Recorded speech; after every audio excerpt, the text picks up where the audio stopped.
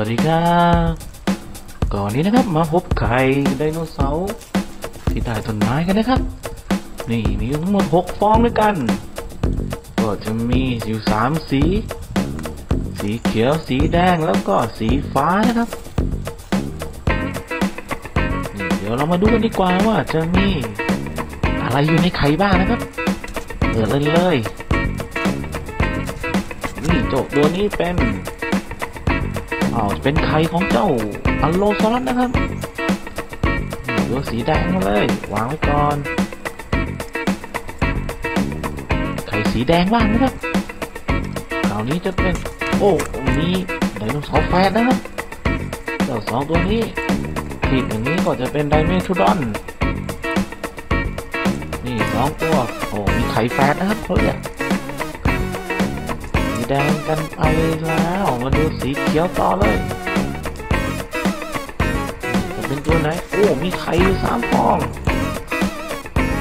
ไข่ในไข่นะครับเพื่อนเก็บเป็นนะเปิดไว้ก่อนเปิดโชว์ไว้ก็เหลืออีกสามฟอง สีเขียวต่อเลย นี่ครับโอ้ นี่ ไข่แฝดเหมือนเดิมนะครับ แต่ว่ามีตัวหนึ่งตายไปแล้วเหลือแต่กระดูกเป็นสเตโกโซรัสสองตัวนะครับ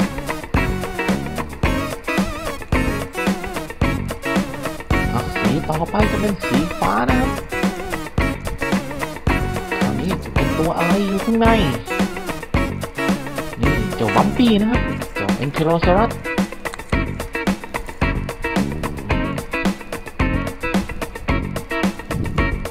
ก็เหลือไข่ใบสุดท้ายก็จะเป็นไข่สีแดงนะครับ มีอะไรอยู่โอ้เจ้าตัวนี้นะครับพาราซโรโลฟัสนะครับเจ้าไดโนเสาร์มีงอนนี่ปิดอะเปิดไว้ก่อนเปิดไว้ก่อนก็หมดไปแล้วนะครับ ไข่ทั้งหมดหกฟองด้วยกัน ละสองกับสีฟ้าสองสีเขียวสองแล้วก็สีแดงสองก็ฝากติดตามกันด้วยนะครับ สวัสดีครับ